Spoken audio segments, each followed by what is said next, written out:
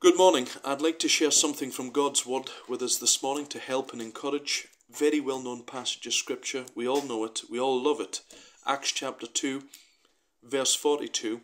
And I want to speak about the four principles of walking with God. Now, Acts chapter 2 is a very special chapter in the Bible because we see here the arrival of the New Testament church.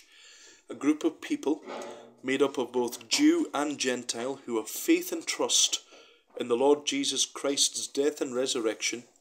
They've been given the Holy Spirit to indwell them as a deposit, guaranteeing that Jesus Christ will return for his bride, his purchased possession. But we see here they get saved, they get baptized, they get saved under the preaching of the Word of God, they get baptized.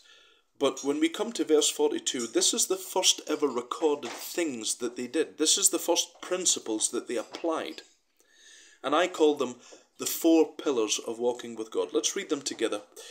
They continually devoted themselves to the apostles' teaching, to fellowship, to the breaking of bread, and to prayer. Four principles, four things that the early church done that sets an example for me and you to follow in their footsteps this morning. I believe that Satan's plan is to take us away from these four things. Sometimes we get so caught up with life, we get caught up with looking at other Christians, we get caught up with listening to the voice of the enemy, we get caught up with business, we get caught, caught up with all these things and the distractions.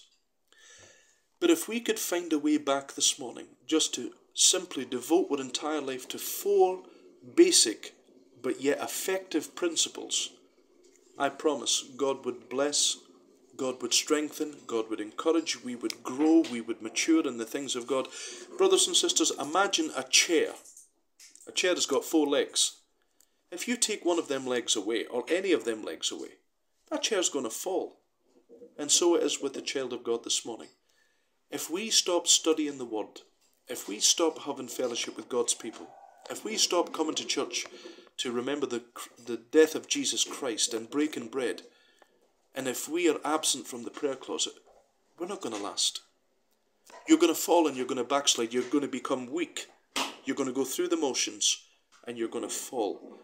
But you know, it's them four pillars that keeps, it's them four legs that keeps the chair standing. And it's these four pillars that keeps me and you standing this morning. To study the Word of God, to have fellowship with God's people, to break bread, and to pray. Now, can I just say something? You might pray, but there's praying, then there's praying. There's having a couple of minutes and bringing microwave prayers before God and asking God for everything. But then there's saturating ourselves in God's presence and really praying from our heart in the power of God's Holy Spirit. You might read your Bible occasionally from time to time. You might cherry pick little verses or have um, an odd two or three minutes here or there. The early church devoted themselves to the apostles' doctrine. It's not a case of reading the Bible for a few minutes. That's never going to sustain us. They were in the Word of God on a daily, daily basis.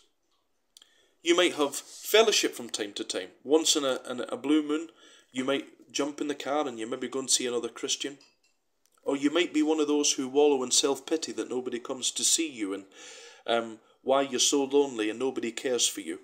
Brothers and sisters, it's time that we apply these four principles of walking with God to our hearts and lives. It's so simple, yet it's so profound.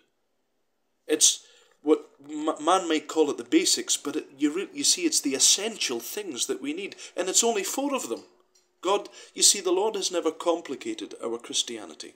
We complicate it. We take our eyes off the Lord and we, we look to the problems, we look to situations, we look to people, we look to bad examples and bad testimonies.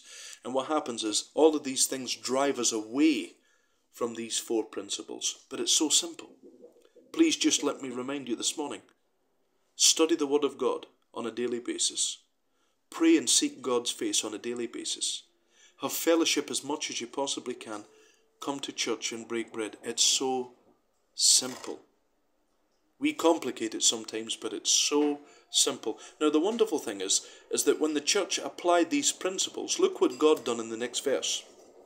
Verse 43 Everyone kept a feeling, a sense of awe, and many wonders and signs were taking place through the apostles. Miracles was happening.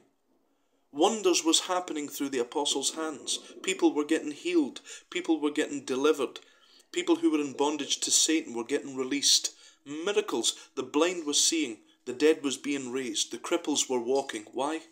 It's because the church was being the church.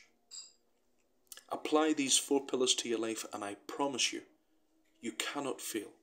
And when the days become dark and the enemy comes in like a flood, you will be able to stand strong because you're supported by these pillars that God has set forth for me and for you this morning. They devoted their life to the apostles' doctrine, to fellowship, to the breaking of bread, and to prayers. May the Lord bless every one of you this morning. I pray this has helped and encouraged you. In Jesus' name.